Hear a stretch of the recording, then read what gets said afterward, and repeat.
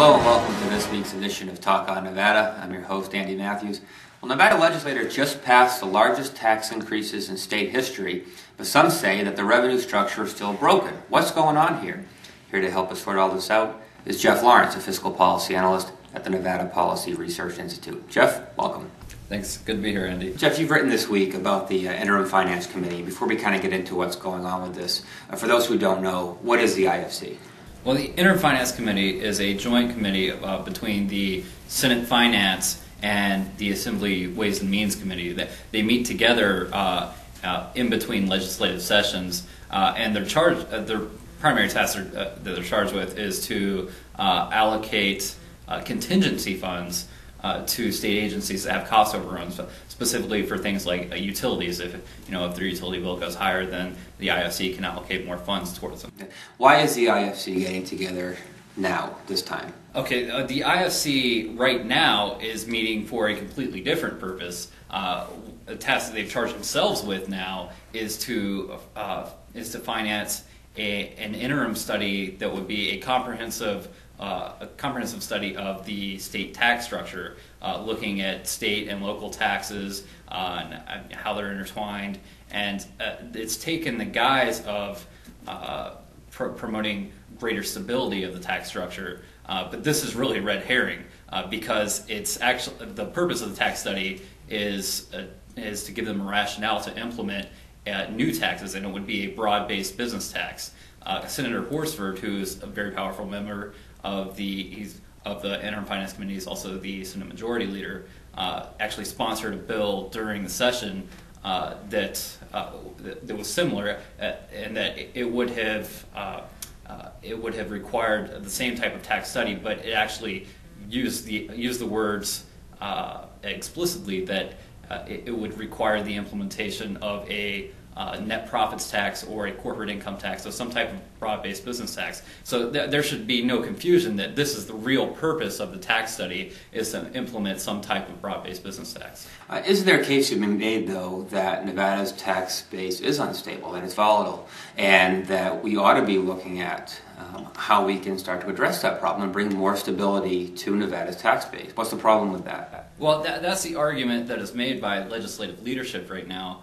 Uh, although you know that too is red herring because uh, corporate income tax is the single most volatile uh, ta- is the single most volatile tax that states use across the country. Uh, the Federal Reserve Bank of, uh, of, Kansas City recently did a study that showed that the corporate uh, corporate income tax, for example, is more than twice as volatile as the general sales tax.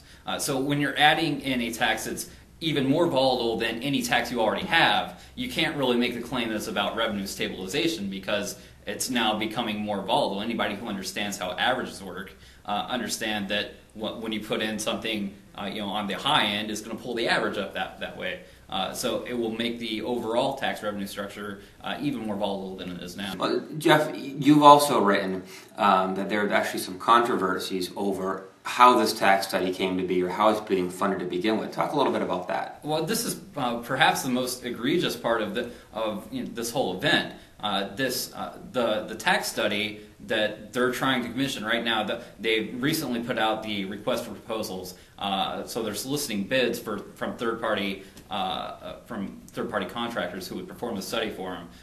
but the funding for the study was vetoed by the governor and it was never overridden by the legislature. Uh, so th- there was, uh, uh, according to the prescribed constitutional process, there should be no funding for the study. Uh, what, what, the, what the Interim Finance Committee has done is uh, they've, uh, they've committed to pledge contingency funds that are meant to uh, allocate to those state agencies for you know specific cost overruns like utilities, things like that. Uh, n- now they're basically using it as a legislative slush fund uh, to fund what was rejected uh, according to the constitutional procedures. Uh, so there's a serious case to be made that this is uh, outside of the legal framework. It's an you know extra legal funding that, that they're uh, that they're using right now. Speaking of the Constitution, uh, you've actually opined in the past that the IFC itself actually raises some serious constitutional questions. What are some of those? Well, it's not simply my opinion, Andy. there are people across the state who recognize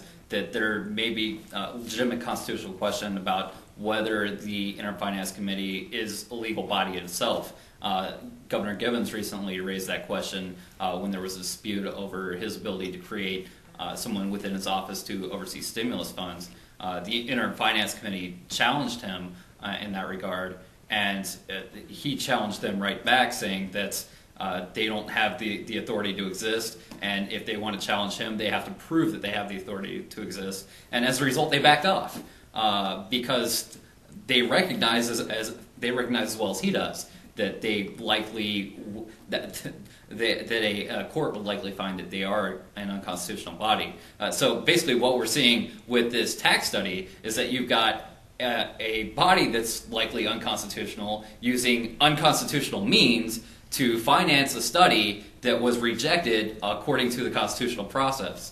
All right, Jeff, it'll be interesting to see how all this plays out. Please keep us posted. I want to thank all of you for joining us this week on Talk on Nevada. I want to urge you to check us out on the web, npri.org, for more information on this topic and other private solutions to public challenges facing our silver state.